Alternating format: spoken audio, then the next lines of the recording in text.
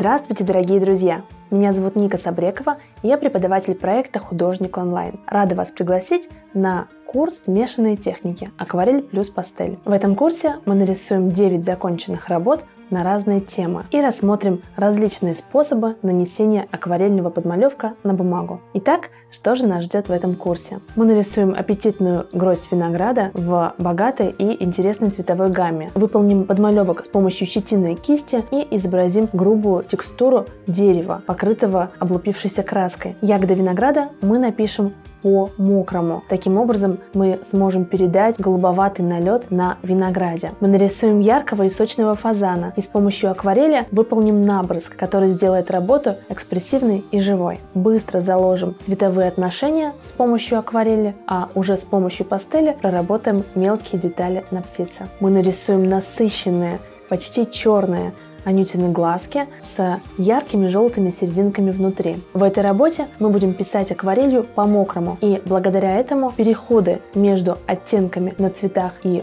фоне будут очень мягкими. С помощью пастели внесем коррективы в рисунок по необходимости, а также проработаем мелкие детали. Мы нарисуем сцену из жизни морских глубин и изобразим коралловые рифы и черепаху, проплывающую около них. Мы будем использовать акварель в технике по сырому форму и разные эффекты для того, чтобы получить удивительные переливы цвета на коралловых рифах. Мы напишем сдержанную и сложную по цвету композицию с оленем в осеннем лесу. Здесь нам предстоит изобразить туман, и подмалевок поможет нам сделать дальний план мягким и размытым. А на переднем плане мы будем использовать набрызг по мокрому, быстро и эффектно. Мы напишем горный пейзаж на вытянутом формате. Будем изображать фактуры на горах, совмещать работу по сырому и по сухому для того, чтобы создать удивительный и причудливый узор на горах. Мы изобразим натюрморт со спелыми аппетитными томатами.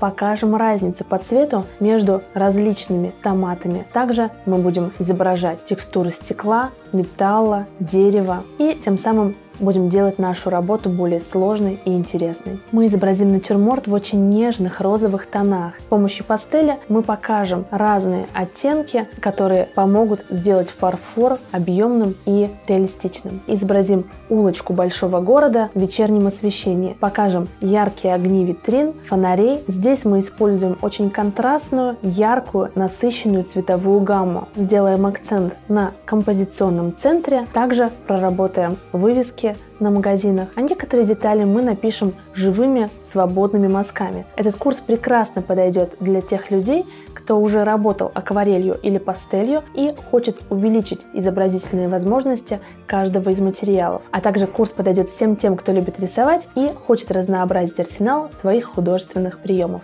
Курс получился разнообразным и интересным. Буду рада видеть вас на нем.